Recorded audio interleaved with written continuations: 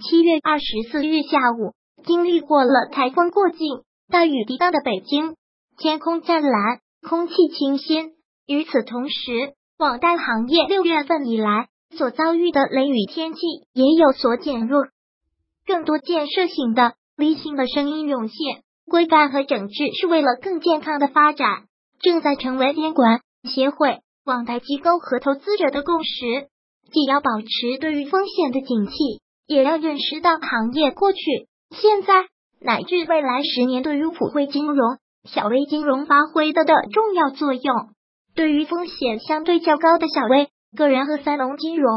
网贷模式从业大数理论、容忍风险、收益覆盖风险等角度给出了回答。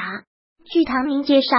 近期其与一线公司相关同事参加了多个各级监管部门、互联网金融行业协会牵头的沟通会。都对于网贷行业未来发展给予充分的正面的积极的肯定。例如，对于行业发展中的关键问题，例如借款人逃废债、征信体系建设问题，例如诈骗违法犯罪问题，都会有一系列处置办法。日前，有媒体报道了银保监会七月十六日召开的网贷行业风险情况专题座谈会的精神。主旨就是防范网贷机构风险爆发和蔓延，稳妥有序推进网贷专项整治工作。一方面要通过严格监管，逐渐挤压不合规企业，释放存量风险，引导行业回归本源，营造良币驱逐劣币的市场环境。另一方面，尽快明确监管政策。此外，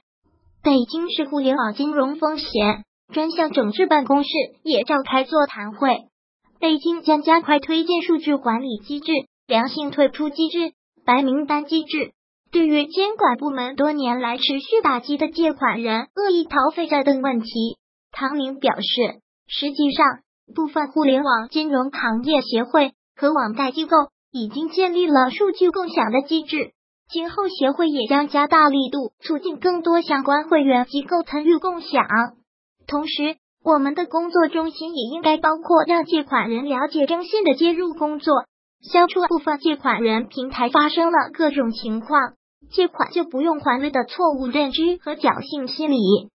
对于北京互金整治办、深圳互金整治办相继宣布将按照国家统一部署，继续开展 P to P 网贷现场检查工作，以及多地宣布重启网贷现场检查，唐宁表示。给予市场各方明确的监管和整治预期是非常重要的。就头部企业而言，之前也一直在努力拥抱监管和相关标准。目前，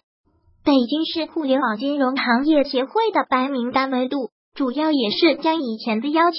进行系统化建设。很多头部企业自身就是达标的。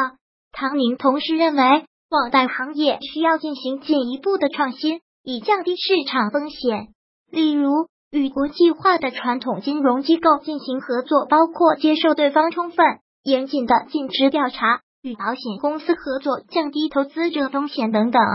在目前行业遇到的困难情况下，源自于全面了解、正确评价的信息和理性预期是最重要的。本文源自证券日报，更多精彩资讯，请来金融界网站 w w w j r j c o m c n。如果喜欢本视频，请分享并订阅本频道，别忘了按赞哦。